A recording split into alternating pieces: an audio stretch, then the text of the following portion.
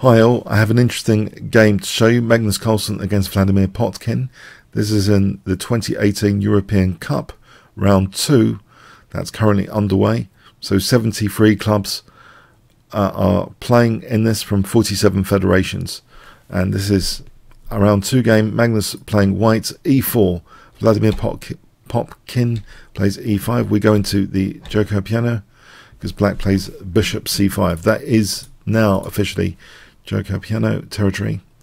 We have c3, knight f6, d3, d6, and now quite usual is castling. Uh, for example, castling a6, and the bishop gets a pigeonhole on a7, uh, for example, like this, and it's thought to be about equal. Uh, slightly different from the usual beaten track, knight bd2 here. Now, uh, black actually castled if black was totally concerned about the bishop here, then maybe, you know, a a6, a7 to a6 to sort out the bishop. As it turns out, you know, after castling now b4, bishop b6, bishop b3, uh, again, a6 seems plausible, but black didn't mind uh, knight c4 here, just invited knight c4, knight e7, knight c4, and black doesn't mind losing that dark square bishop. At any point with a6 and c6 there's going to be knight takes b6 now. White castled c6 and now knight takes b6 is indeed played.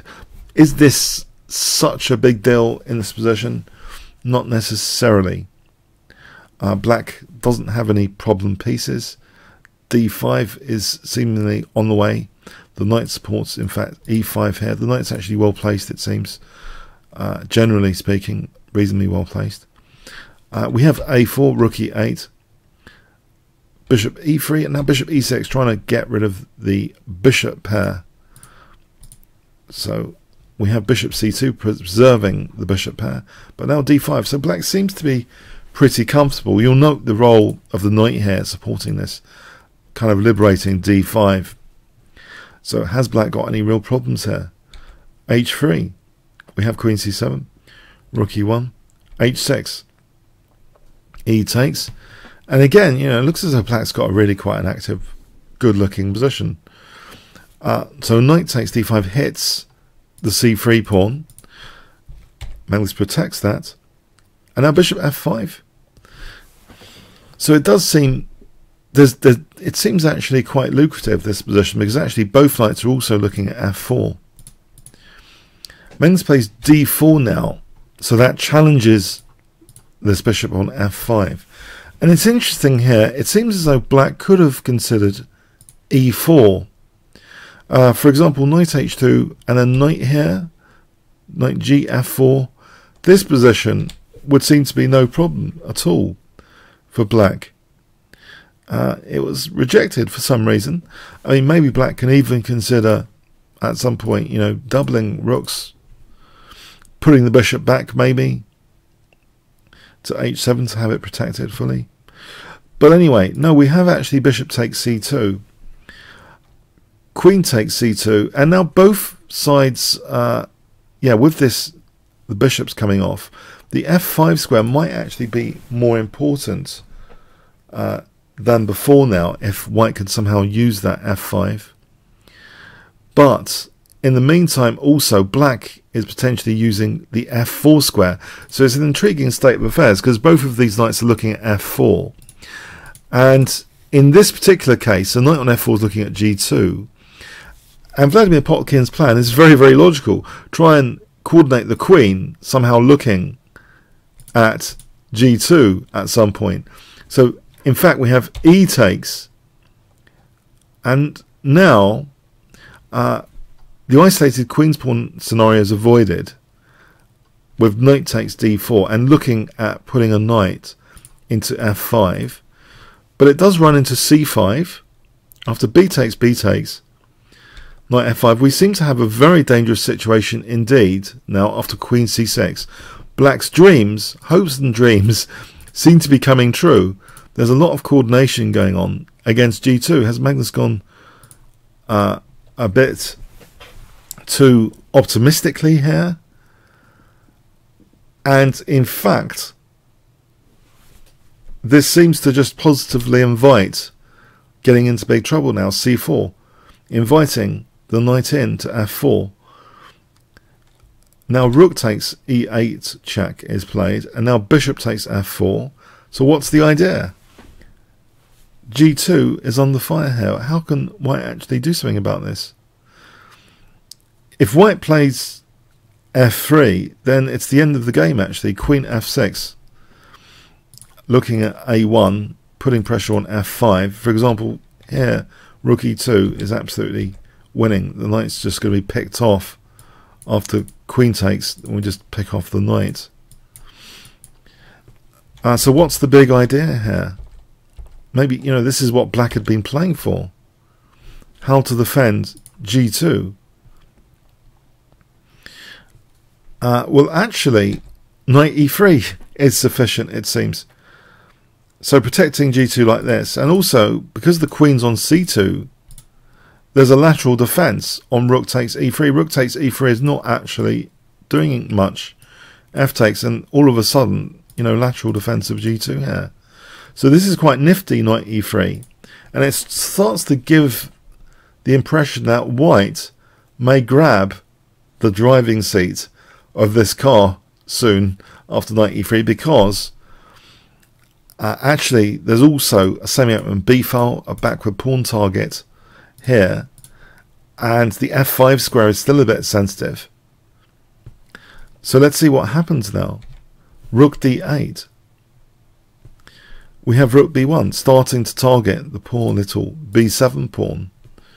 h5. Okay, a5 fixes that down.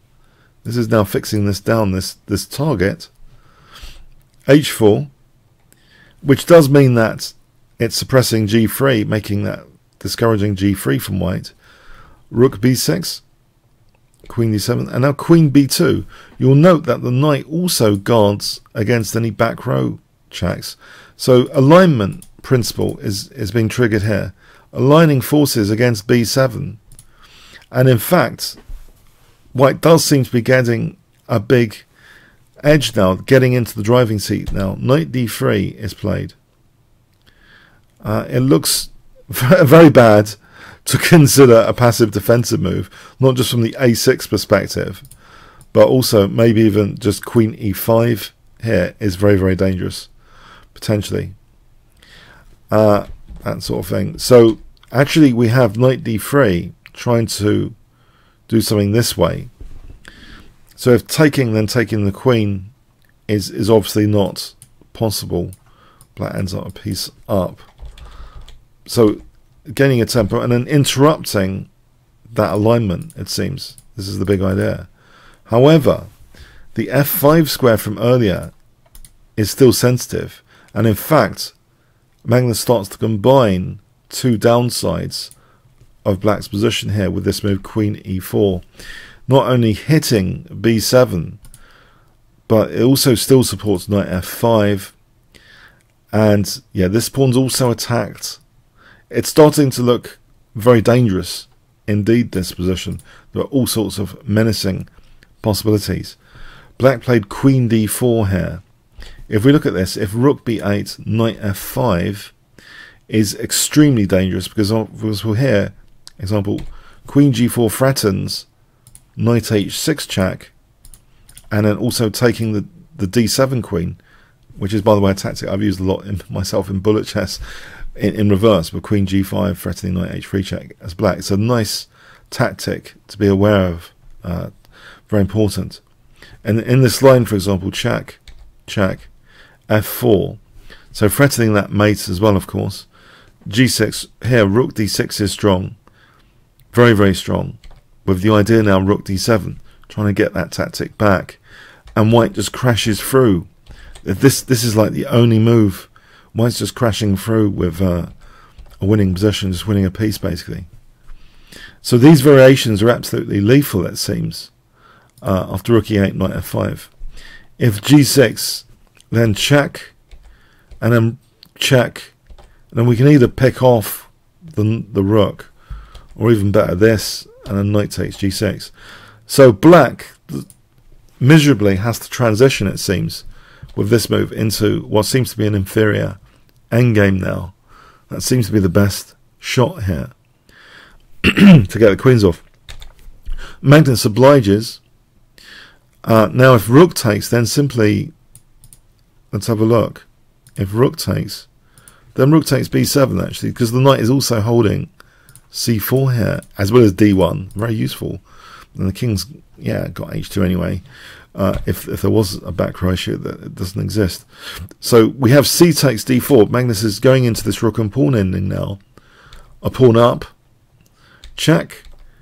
And still with that backward b pawn, that horrible backward b pawn, uh, means now that white is building up. Yeah, this looks to be a winning position. King g7. King e4 offering g2 for taking up b7. But otherwise, the king is just going up there to sort of take this pawn itself and then march the c pawn to queening. So black takes on g2 and now rook takes. So we've got two dangerous passed pawns. Black can try and create pass pawn himself. That's what is tried. c6, g4, c7, rook c2.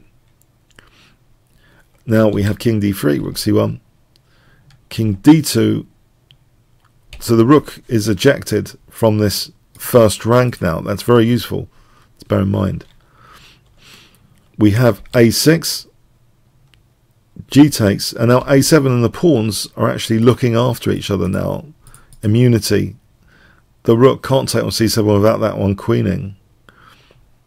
Uh, so that means after h2 the rook can just drop back and this is totally winning. There's nothing black can do. So, yeah, very elegant. It seems as though Magnus in this game was playing with all the dangers that we worry about with knights on f5 and f4. But it seems, yeah, against knight f4 with the queen coordination, it was sufficient to put his knight back on e3. And then he really just got into the driving seat with black's backward pawn. And in fact, black's f5 square later became a major issue combined with the backward b7 pawn. So overall, a highly instructive game showing how it's almost as if Magnus kind of said you can have your dream possession, but maybe it's not it's not the dream you think it is, and then and then he just seems to get into the driving seat after. Okay, what do you think about this game? Comments, questions, likes, shares appreciated. Thanks very much.